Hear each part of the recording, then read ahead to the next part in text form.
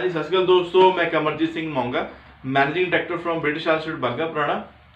ਅੱਜ ਆਪਾਂ ਬਹੁਤ ਸਾਰੇ ਇੰਪੋਰਟੈਂਟ ਡਾਕੂਮੈਂਟ ਦੀ ਗੱਲ ਕਰਾਂਗੇ, ਜਿਸ ਦੇ ਬਿਨਾ ਆਪਾਂ ਕਿਸੇ ਵੀ ਫੋਰਨ ਕੰਟਰੀ ਵਿੱਚ ਵਿਜ਼ਿਟ ਨਹੀਂ ਕਰ ਸਕਦੇ।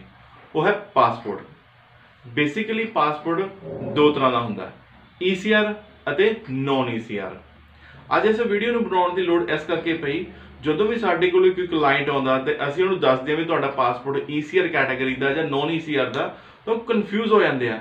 ਸ਼ਾਇਦ ਉਹਨਾਂ ਨੂੰ ਲੱਗਣ ਲੱਗ ਜਾਂਦਾ ਵੀ ਸਾਡੇ ਪਾਸਪੋਰਟ ਦੇ ਵਿੱਚ ਕੋਈ ਮਿਸਟੇਕ ਹੈ। ਪਤਾ ਨਹੀਂ ਸਾਡੇ ਪਾਸਪੋਰਟ ਤੇ ਵੀਜ਼ਾ ਲੱਗੇਗਾ ਜਾਂ ਨਹੀਂ ਲੱਗੇਗਾ। ਸੋ ਉਸ ਕਨਫਿਊਜ਼ਨ ਨੂੰ ਕਲੀਅਰ ਕਰਨ ਵਾਸਤੇ ਅੱਜ ਆਪਾਂ ਇਸ ਟੌਪਿਕ ਤੇ ਗੱਲ ਕਰ ਰਹੇ ਹਾਂ। ਤਾਂ ਫਸਟ ਆਫ ਆਲ ਆਪਾਂ ਗੱਲ ਕਰਦੇ ਹਾਂ ਵੀ ECR ਦੀ ਲੋੜ ਕਿਉਂ ਪਈ ਤੇ ਇਹਦੀ ਫੁੱਲ ਫਾਰਮ ਕੀ ਹੈ। ECR ਦੀ ਫੁੱਲ ਫਾਰਮ ਹੈ ਇਮੀਗ੍ਰੇਸ਼ਨ ਚੈੱਕ ਰਿਕੁਆਇਰਡ ਜਾਂ ਫਿਰ ਇਮੀਗ੍ਰੇਸ਼ਨ ਕਲੀਅਰੈਂਸ ਰਿਕੁਆਇਰਡ ਤਾਂ 2007 ਤੋਂ ਪਹਿਲਾਂ ਇੰਡੀਅਨ ਗਵਰਨਮੈਂਟ ਨੇ ਇਸ ਤਰ੍ਹਾਂ ਦੇ ਪਾਸਪੋਰਟ ਨੂੰ ਇਸ਼ੂ ਕੀਤਾ। ਲੋੜ ਉਦੋਂ ਪਈ ਜਦੋਂ ਆਪਣੇ ਇਲਿਟਰੇਟ ਪਰਸਨ ਜਾਂ ਕਹਿ ਲਓ ਵੀ ਅਨਪੜ੍ਹ ਲੋਕ ਕਿਸੇ ਫੋਰਨ ਕੰਟਰੀ ਵਿੱਚ ਜਾਂਦੇ ਤੇ ਉੱਥੇ ਜੌਬ ਕਰਦੇ, ਤਾਂ ਕੁਝ ਗਲਤ ਕੰਪਨੀਆਂ ਉਹਨਾਂ ਨੂੰ ਉੱਥੇ ਲੈ ਜਾਂਦੀਆਂ ਫੋਰਨ ਵਿੱਚ ਤੇ ਉਹ ਲੋਕ ਜਾ ਕੇ ਉੱਥੇ ਫਸ ਜਾਂਦੇ। ਤਾਂ ਇਸ ਤਰ੍ਹਾਂ ਦੇ ਲੋਕਾਂ ਦੀ ਪ੍ਰੋਬਲਮ ਨੂੰ ਸੋਲਵ ਕਰਨ ਵਾਸਤੇ ਇੰਡੀਅਨ ਗਵਰਨਮੈਂਟ ਨੇ ਇਹ ECR ਜਿਹੜਾ ਲਾਂਚ ਕੀਤਾ। ਦੂਸਰੇ ਪਾਸੇ ਹੈ ਨੌਨ ECR ਅਗਰ ਤੁਸੀਂ ਐਜੂਕੇਟਡ ਹੋ, ਤਾਂ ਤੁਹਾਡਾ ਜਿਹੜਾ ਪਾਸਪੋਰਟ ਹੋਏਗਾ ਉਹ ਨੌਨ ECR ਹੋਏਗਾ। ਅਗਰ ECR ਪਾਸਪੋਰਟ ਹੈਗਾ ਦੈਨ ਤੁਹਾਨੂੰ ਐਜੂਕੇਸ਼ਨ ਹੋਣੀ ਜ਼ਰੂਰੀ ਆ। ਕੁਝ ਕੈਟਾਗਰੀਜ਼ ਨੇ, ਅਗਰ ਉਹ ਕੈਟਾਗਰੀ ਨੂੰ ਤੁਸੀਂ ਬਿਲੋਂਗ ਕਰਦੇ ਆ ਦੈਨ ਤੁਹਾਨੂੰ ਇਮੀਗ੍ਰੇਸ਼ਨ ਚੈੱਕ ਰਿਕੁਆਇਰਡ ਦੀ ਲੋੜ ਨਹੀਂ ਪੈਂਦੀ। ਨੰਬਰ 1 ਅਗਰ ਤੁਸੀਂ ਗਸਟਡ ਆਫੀਸਰ ਹੋ, ਜਾਂ ਤੁਹਾਡੇ ਕੋਲ ਕੋਈ ਡਿਗਰੀ ਜਾਂ ਡਿਪਲੋਮਾ ਹੈ, ਇਸ ਕੰਡੀਸ਼ਨ ਦੇ ਵਿੱਚ ਤੁਹਾਨੂੰ ECR ਦੀ ਰਿਕੁਆਇਰਮੈਂਟ ਨਹੀਂ ਹੈਗੀ। ਜਾਂ ਫਿਰ ਤੁਹਾਡੇ ਜਿਹੜੇ ਸਪਾਊਸ ਨੇ ਜਾਂ ਤੁਹਾਡੇ ਬੱਚੇ ਨੇ, ਜਿਹੜੇ 18 ਸਾਲ ਤੋਂ ਨੀਚੇ ਨੇ ਜਿਹੜੇ ਕੋਈ ਆਫੀਸਰ ਹੈ ਜਾਂ ਜੌਬ ਕਰ ਰਹੇ ਨੇ ਗਵਰਨਮੈਂਟ ਜੌਬ ਤੇ ਦੈਨ ਵੀ ਉਹਨਾਂ ਨੂੰ ECR ਦੀ ਰਿਕੁਆਇਰਮੈਂਟ ਨਹੀਂ ਹੈ।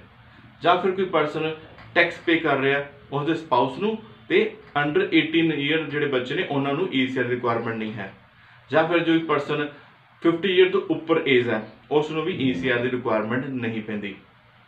ਜਾਂ ਉਹ ਪਰਸਨ ਜਿਨ੍ਹਾਂ ਦੇ ਕੋਲੇ UK ਦਾ USA ਦਾ ਜਾਂ ਆਸਟ੍ਰੇਲੀਆ ਦਾ PR ਕੇਸ ਹੈ, ਜਾਂ ਉਹ PR ਕਾਰਡ ਹੈ ਸੌਰੀ ਤਾਂ ਉਹਨਾਂ ਨੂੰ ਵੀ ਜਿਹੜੇ ECR ਦੀ ਲੋੜ ਨਹੀਂ ਪੈਂਦੀ। ਇਸ ਤੋਂ ਇਲਾਵਾ ਅਗਰ ਤੁਹਾਡੇ ਕੋਲੇ ਕੁਝ ਹੋਰ ਕੈਟਾਗਰੀਜ਼ ਵੀ ਨੇ, ਤੁਸੀਂ ਆਨਲਾਈਨ ਜਾ ਕੇ ਵੀ ਸਾਰੀ ਇਨਫੋਰਮੇਸ਼ਨ ਹਾਸਲ ਕਰ ਸਕਦੇ ਹੋ। ਅਗਰ ਤੁਸੀਂ ਇਸ ਕੈਟਾਗਰੀਜ਼ ਨੂੰ ਬਿਲੋਂਗ ਕਰਦੇ ਕਰਦੇ ਹੋ ਦੈਨ ਤੁਹਾਨੂੰ ECR ਦੀ ਰਿਕੁਆਇਰਮੈਂਟ ਨਹੀਂ ਹੈ। ਬਟ ਅਗਰ ਤੁਹਾਡਾ ਪਾਸਪੋਰਟ ECR ਆ ਜਾਂ ਨੌਨ ECR ਤੁਸੀਂ ਕਿਵੇਂ ਚੈੱਕ ਕਰ ਸਕਦੇ ਆ? ਤਾਂ ਮੇਰੇ ਕੋਲ ਇੱਕ ਪਾਸਪੋਰਟ ਹੈ ਪਾਸਪੋਰਟ ਦੇ ਬਿਲਕੁਲ ਲਾਸਟ ਪੇਜ ਦੇ ਉੱਪਰ ਜਿੱਥੇ ਐਡਰੈਸ ਲਿਖਿਆ ਹੁੰਦਾ, ਇਹ ਪਾਸਪੋਰਟ ਨੌਨ ECR ਪਾਸਪੋਰਟ ਹੈ ਇਸ ਦੇ ਉੱਪਰ ਬਿਲਕੁਲ ਕੁਝ ਵੀ ਮੈਂਸ਼ਨ ਨਹੀਂ ਕੀਤਾ ਹੋਇਆ। ਤੁਸੀਂ ਦੇਖ ਸਕਦੇ ਹੋ ਬਲੈਂਕ ਹੈ ਪੇਜ ਸੋ ਇਹ ਨੌਨ ECR ਪਾਸਪੋਰਟ ਆ। ਅਗਰ ਤੁਸੀਂ ਵੀ ਦੇਖਣਾ ਚਾਹੁੰਦੇ ਹੋ, ਤੁਹਾਡਾ ਪਾਸਪੋਰਟ ECR ਆ ਜਾਂ ਨੌਨ ECR ਆ, ਤੁਸੀਂ ਇਸ ਪਾਸਪੋਰਟ ਬੈਕ ਸਾਈਡ ਤੇ ਜਾ ਕੇ ਚੈੱਕ ਕਰ ਸਕਦੇ ਹੋ। ਬਟ ਕਲਾਇੰਟ ਦੇ ਮਾਈਂਡ ਵਿੱਚ ਕਨਫਿਊਜ਼ਨ ਹੁੰਦੀ ਹੈ ਵੀ ਪਤਾ ਨਹੀਂ ਸਾਡਾ ECR ਪਾਸਪੋਰਟ ਆ, ਸਾਡਾ ਵੀਜ਼ਾ ਲੱਗੇਗਾ ਜਾਂ ਨਹੀਂ ਲੱਗੇਗਾ। ਤਾਂ ECR ਜਾਂ ਨੌਨ ECR ਹੋਣ ਦੇ ਨਾਲ ਤੁਹਾਡੇ ਵੀਜ਼ਾ ਤੇ ਅਗਰ ਤੁਸੀਂ ਵੀ ਕੈਨੇਡਾ, ਆਸਟ੍ਰੇਲੀਆ ਜਾਂ ਕਿਸੇ ਵੀ ਹੋਰ ਕੰਟਰੀ ਦਾ ਟੂਰਿਸਟ ਵੀਜ਼ਾ ਅਪਲਾਈ ਕਰਨਾ ਚਾਹੁੰਦੇ ਹੋ ਤਾਂ ਕੋਈ ਵੀ ਪ੍ਰੋਬਲਮ ਨਹੀਂ ਹੁੰਦੀ। ਇਹ ਸਿਰਫ ਤੇ ਸਿਰਫ ਉਹਨਾਂ ਲੋਕਾਂ ਦੀ ਪ੍ਰੋਟੈਕਸ਼ਨ ਵਾਸਤੇ ਸੀ ਜੋ ਫੋਰਨ ਕੰਟਰੀ ਦੇ ਵਿੱਚ ਜਾ ਕੇ ਕੰਮ ਕਰਨਾ ਚਾਹੁੰਦੇ ਨੇ। ਸੋ ਅਗਰ ਤੁਹਾਨੂੰ ਵੀ ਕਿਸੇ ਤਰ੍ਹਾਂ ਦੇ ਡਾਕੂਮੈਂਟ ਨੂੰ ਲੈ ਕੇ ਕੋਈ ਪ੍ਰੋਬਲਮ ਹੈ, ਤੁਸੀਂ ਵੀਜ਼ਾ ਅਪਲਾਈ ਕਰਨਾ ਚਾਹੁੰਦੇ ਹੋ ਤਾਂ ਡਿਸਕ੍ਰਿਪਸ਼ਨ ਦਿੱਤੇ ਹੋਏ ਨੰਬਰ ਤੇ ਕੰਟੈਕਟ ਕਰ ਸਕਦੇ ਹੋ, WhatsApp ਕਰ ਸਕਦੇ ਹੋ ਔਰ ਆਪਣੀ ਪ੍ਰੋਫਾਈਲ ਨੂੰ ਸ਼ੇਅਰ ਕਰ ਸਕਦੇ ਹੋ ਪ੍ਰੋਫਾਈਲ ਦੇ ਅਕੋਰਡਿੰਗ ਜਾਣ ਸਕਦੇ ਹੋ ਤੁਹਾਨੂੰ ਕਿਸ ਤਰ੍ਹਾਂ ਦੇ ਡਾਕੂਮੈਂਟ ਦੀ ਲੋੜ ਹੈ। ਵੀਡੀਓ ਪਸੰਦ ਆਈ ਤਾਂ ਵੀਡੀਓ ਨੂੰ ਸ਼ੇਅਰ ਜ਼ਰੂਰ ਕਰਿਓ ਚੈਨਲ ਨੂੰ ਸਬਸਕ੍ਰਾਈਬ ਕਰਿਓ ਅਤੇ ਬੈਲ ਆਈਕਨ ਦੇ ਬਟਨ ਦਬਾ ਕੇ ਤਾਂ ਸੋ ਦੈਟ ਕਿ ਤੁਹਾਨੂੰ ਜਿਹੜੀ ਇਸ ਤਰ੍ਹਾਂ ਦੀ ਇਨਫੋਰਮੇਟਿਵ ਜਿਹੜੀ ਵੀਡੀਓਜ਼ ਹੋਰ ਵੀ ਮਿਲ ਸਕਣ। Thank you